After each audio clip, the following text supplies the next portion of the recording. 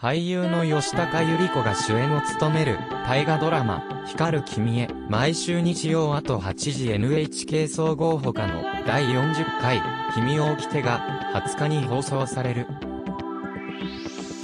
主人公、紫式部、真宙は、千年の時を超えるベストセラー、源氏物語を書き上げた女性。